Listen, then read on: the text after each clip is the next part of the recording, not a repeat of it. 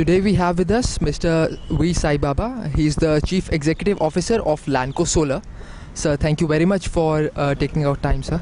Uh, sir, I'll start off with a general question regarding the solar power bids. So, the solar PV bids have gone uh, as low as 7 rupees per kilowatt hour. Sir, do you believe they have bottomed out or do you see them going to uh, levels of 5 or 6 rupees uh, in the phase 2 of National Solar Mission? Yeah, I think uh, you we cannot take uh, the lower bids. Uh, No, actually, if you see the range, they were anywhere between nine rupee thirty paisa to seven rupees. Uh, yeah, it's a big range, and seven rupees bids were very few, very few in the seven to eight rupees range.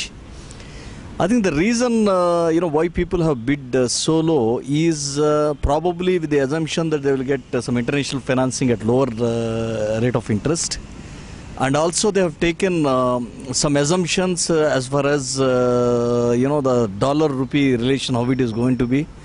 And they have also not considered some of them probably might not have considered even uh, hedging cost. You know the risks are quite large. Second thing also the the falling prices of modules uh, you know globally supply is exceeding the demand. So there is a, a huge glut of uh, solar modules in the market so that's one of the reasons why the price have uh, fallen, apart from uh, the interest rate assumptions, whatever they have taken. I think these are all absolutely uh, high risk uh, thing. If you take the average tariff, you know, of all the solar bits last time, it was coming close to about 8 rupee 30 paisa or 8 rupee uh, 20 paisa in that range. So I think that is a that is a kind of a more realistic number I would say I would put it, you know, than uh, 7 rupees and all that because uh, the, the current interest rate at 13% interest rate what we have in India or uh, you know the dollar rupee hedging cost whatever is involved I don't think it is possible to uh, go below that Okay, sir. Uh, sir, next question is regarding the CDM uh, market. So, so far only 10 projects have been registered under the CDM and uh, none of them have got buyers as yet.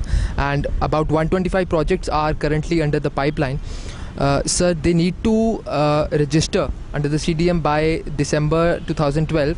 Uh, otherwise, the European Union won't accept their CERs from 2013. So, after that, uh, a solar project developer, what options will he have to ensure financial viability of its project? Actually, the CDM contribution in the overall uh, solar uh, revenue stream, if you take, is very small. I think, of course, uh, it'll it'll make it, it does make a small difference in the overall uh, the economics. Uh, but I think that is, that is the most important factor we have to you know all that it may increase by is by a few paisa as far as the tariff is concerned. So, uh, the falling bid prices of solar PV, uh, so have they made uh, the renewable energy certificate scheme more attractive to the solar power uh, developers? Yeah, yes, uh, the the REC certificates uh, are priced at about nine rupees today, nine rupees to you know the bottom level. Uh, so you know they are definitely attractive at this point in time. You know compared to eight rupee forty paisa or eight rupee fifty paisa average tariff what we are talking about. Yeah, the, the, the- on top of that, uh, the, the REC plus uh, you also get uh, some revenue from the generation power power sales. Yeah, it is uh, attractive, but the only concern which uh, the entire uh, investor community or developer community have is basically to you know the, the existing policy framework you know uh, does not really uh, you know um, enforce uh, the, the the objectives of RPO you know if the utility is not meeting with their RPO obligation what happens? Are there any cases where the penalties are levied yeah those examples are yet to emerge in the country. That is uh, uh, first and foremost fundamental thing. Second thing is uh, as far as uh, the, the utilities health is concerned they are actually struggling to pass on their cost to the consumer. In such a scenario uh, you know will they go out of the way and buy REC certificates because there is an RPO obligation. The much larger obligation like power purchase agreement uh, obligations where uh, the power cost uh, is as low as 3 rupee 50 paisa itself they are unable to honor. Uh, You know, will they honor a RPO obligation unless otherwise you have a very very strong uh, framework is the uh, you know question which is in the you know which is there with the financial institutions as well as the developers while investing. The third thing is the financing is also not available. Because of these concerns, the banks are hesitating basically to finance uh, projects based on REC and uh, you know the, the sale of power at market prices are concerned.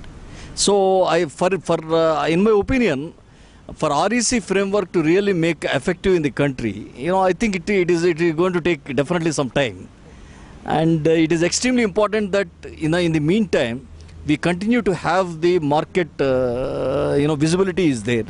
Basically you should be able to see the what is the market size going to be in next 2 to 3 years. Unless and otherwise you have that kind of uh, uh, predictability of the market. Investments into manufacturing or investments into development or research and development uh, uh, in my opinion may not be you know uh, coming forward.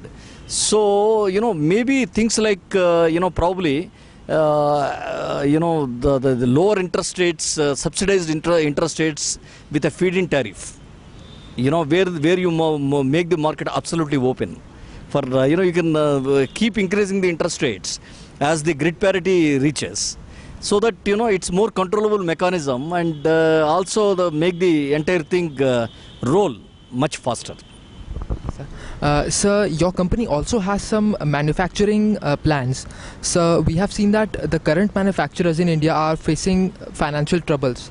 They're in losses. So what kind of strategy uh, is your company taking to ensure financial uh, profits? Yeah, as a company, what we are doing is slightly with a different strategy. What we are doing is we are going with an integrated strategy of the whole business of solar. We are building, we are doing actually engineering, procurement, and construction. We are also doing project development and developing, bidding for the projects and winning the projects. We are also doing installations on the rooftops and uh, rural uh, off-grid applications. Yeah, that, that market is much larger for us. I mean, actually, we are doing, we are, our target is to do about 500 megawatt per annum in about uh, three years down the line. And uh, whereas our manufacturing plant, what we are building, you know, is about uh, 250 megawatt per annum manufacturing uh, plant. Yeah, the, the so and also the entire activities are uh, being uh, uh, you know the entire product is mean, being manufactured at one single lo- location. That means right from polysilicon, ingots, wafers, solar cells and modules. The whole thing will be manufactured in one single location. So the logistic costs are lower, the manufacturing costs are relatively lower, uh, you know, because of the integration. We are able to adopt uh, the, the high efficiency solar cell technology and manufacture the required wafers to meet that uh, high efficiency solar cell uh, requirement. And uh, you know, it, it will feed into our own uh, market demand. And with an integrated strategy, sometimes the demand supply could keep on changing in the industry. Sometimes supply can, you know, beat the demand. Sometimes demand could, could beat the supply. So we are going with an, with an integrated strategy. We are pretty confident that, you know, we have also benchmarked ourselves with global uh, manufacturers. We keep doing that from time to time. And uh, the major uh, cost that goes into a polysilicon plant is basically power, which you understand. The po- po- power costs uh, quite well, being a parent being a large power producer in the country. So Lanco being a very very large uh, power producer, uh, 4,000 with 4,400 megawatt, it knows what uh, how much it costs to produce a power, uh, unit of power. So we after studying all the dynamics, we are, we got into this manufacturing plant. It is a special economic zone, 250 acre manufacturing plant.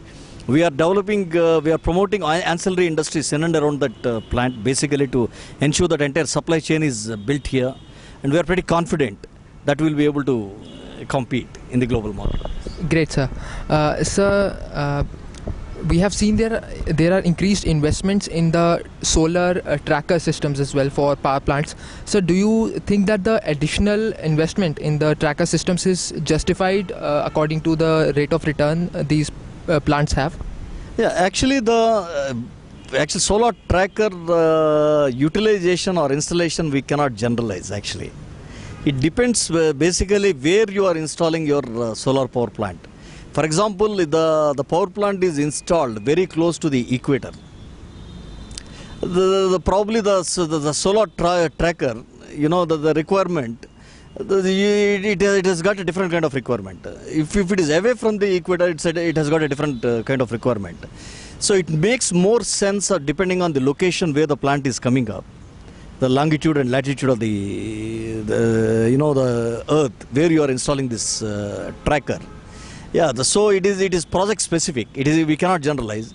In general in a good location if you take the output increases by about 18% whereas the cost is in the range, of about 12 to 14% there is a differential of about 4% if you install this in a good location where you can take the maximum benefit of uh, the radiation and uh, the tracker and uh, location advantage Sir, just one final question. Sir, uh, as, I, as we mentioned that the solar PV prices, uh, the bid prices have fallen very uh, to very low levels. How are the banks, especially Indian banks, are responding to this? Yeah, the, the uh, Indian banks uh, are, uh, you know, the, the basic fundamental thing which is happening is with the low bids, whatever is being, you know, the people have won the bids.